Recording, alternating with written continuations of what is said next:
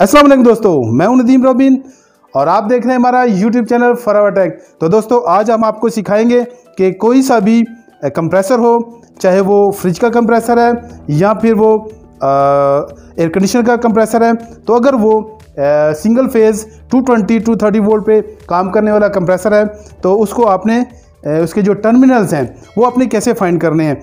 जबकि यहाँ पे देखें यहाँ पे कॉमन रनिंग स्टार्टिंग लिखा होता है। लेकिन अगर इस तरह का कोई कंप्रेसर हो कि जिस पे common running common running starting ना लिखा हो तो आपने उसको कैसे फाइंड करना है?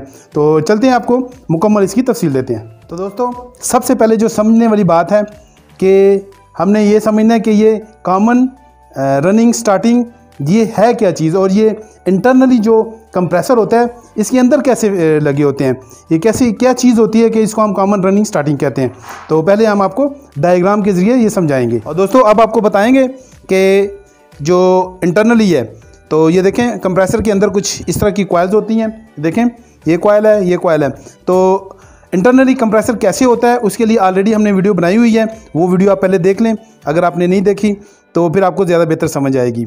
अब आपको बताते हैं कि ये कोयल्स इंटरनली रनिंग स्टार्टिंग की सूरत में लगी होती हैं, लेकिन ये रनिंग स्टार्टिंग कॉमन कैसे होती हैं, वो आपको बताते हैं। तो अब दोस्तों, जैसे कि मैंने आपको क्वाइल्स दिखाई कि इसमें दो क्वाइल्स होती हैं, एक रनिंग और एक स्टार्टिंग मतलब कि देखें, अगर देखा जाए तो इंटरनली कुछ ऐसा होता है। ये एक पॉइंट होता है और ये देखें, ये दूसरी क्वाइल हो जाएगी। अब इसमें हमें ये भी पता कोई नहीं है कि रनिंग कौन सी है स्टार्टिंग कौन सी है। और ये जो तीसरा पॉइंट है, वो कहाँ से आता है? जबकि यहाँ पे चार पॉइंट हैं। देखें, यहाँ पे एक पॉइंट दूसरा पॉइंट तीसरा, चौथा। तो ये तीसरा पॉइंट कहाँ से आता है? तो तीसरा पॉइंट ऐसा होता है कि ये जो इसका, इनकी दो वायर्स हैं, इनको आपस में ज्वाइंट बना दिया जाता है।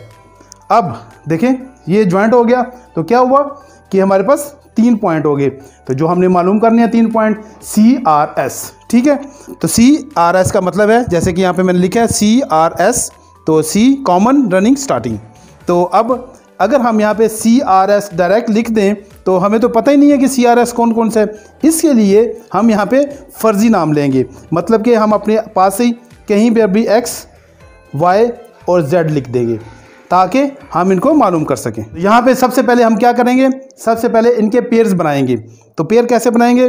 देखें, यहाँ पे एक्स वाई हमारे पास तीन पेयर बनेंगे। अगर हम इन तीनों को मल्टीप्लाई करें तो एक पेयर बनता है एक्स एक्स वाई दूसरा बनता है जी वाई जेड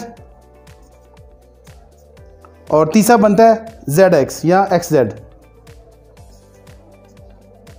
तो ये हमारे पास तीन पेयर बन गए। C C R S terminals को मालूम करने के लिए जो चीज़ या जो तरीक़ेकार किया जाता है, वो इनकी रेजिस्टेंस को मालूम किया जाता है। तो रेजिस्टेंस को हम पहचानते हैं ओम्स और किलो ओम्स के ज़रिए हम इसको पहचानते हैं। जब इनकी रेजिस्टेंस को मालूम करेंगे तो देखें, मैं आपको बताता हूँ। तो क्या होगा कि हमने पेयर बना लिए, तीन पेयर बन गए।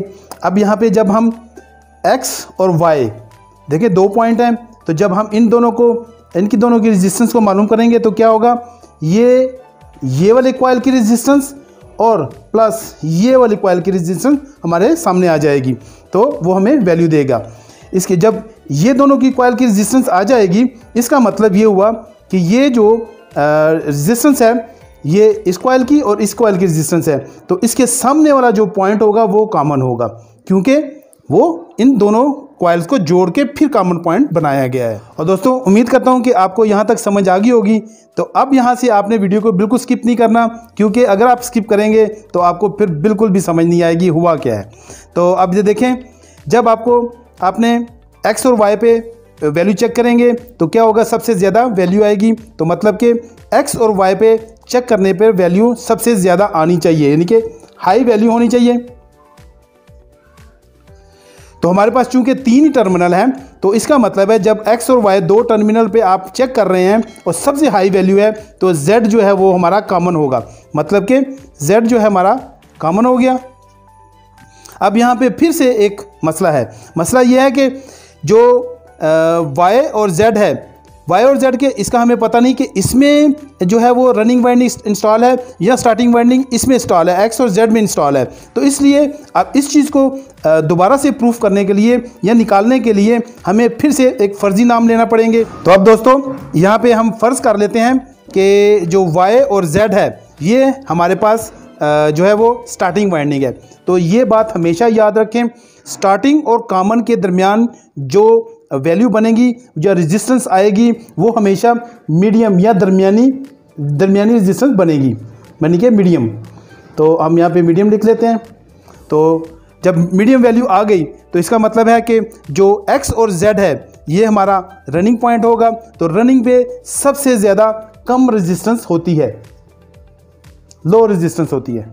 इसका मतलब ये हुआ कि जो जो फ़र्ज़ हमने किया है तो वाई जो है, इस वक्त यहाँ पे हमारा स्टार्टिंग पॉइंट है और जो एक्स है, वो हमारे पास इसका रनिंग पॉइंट है। तो अब यहाँ एक्चुअली होता क्या है कि जो हमेशा ये याद रखें, जो स्टार्ट और रन होता है, इसके दरमियान हमेशा हाई रेजिस्टेंस बनती है। इसमें हमेशा हाई रेजिस्टेंस बनेगी।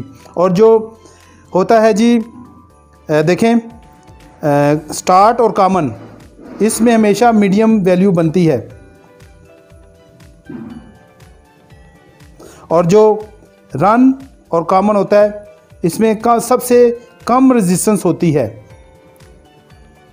तो ये फार्मूला हमेशा याद रखें। और दोस्तों, उम्मीद करता हूँ कि आपको थ्योरी जो है वो समझ आ गई होगी। अब हम आपको प्रैक्टिकली करके दिखाएँगे। लेकिन देखें प्रैक्टिकली भी हमने आपके लिए ये सिस्टम तैयार किया है। तो अब आप यहाँ पे देखें हमारे पास तीन टर्मिनल्स हैं। देखें एक, दो, तीन। तो तीनों टर्मिनल्स पे हम कहीं पर भी जो हमने फार्मूला यूज़ किया था, उसको हम इस्तेमाल कर लेंगे। तो ये करें, देखें, यहाँ पे लिख देते हैं एक्स यहाँ पे लिख देते हैं वाई और ये टर्मिनल चूँकि हमारे पास यहाँ पे जगह कम थी, इसलिए हम इसको यहाँ पे लिखेंगे। तो ये टर्मिनल जो इस तरफ़ का है, ये यहाँ पे लिख दिया। ठीक है? अब यहाँ पे देखें एक्स वाई जेड है। अब पेयर्स भी हमारे पास रेडी हमने करके लिख दिए। अब इसकी रेजिस्टेंस को हम मालूम करेंगे। तो देखें आ, मीटर को ओम्स किलो ओम्स पे सेट कर दें क्योंकि हमारा ऑटो डेटा डिटेक्टिक मीटर है तो जो ही हम इस्तेमाल करेंगे तो वो ऑटोमेटिकली इसको डिटेक्ट कर लेगा। अब किसी भी दो पॉइंट की वैल्यू को टेस्ट करेंगे। तो देखें यहाँ पे कितनी वैल्यू आई है? ये है जी 2.8 तो इसका मतलब ये हुआ कि 2.8 जो है वो हमारे कौन कौन से पॉइंट पे? X और y पे है। तो इसका मतलब ये है कि x और y पे हम लिख देंगे 2.8 तो ये 2.8 वैल्यू यहाँ पे आ गई। अब इसके बाद कोई से दो पॉइंट को और को चेक कर लेंगे। तो ये देखें।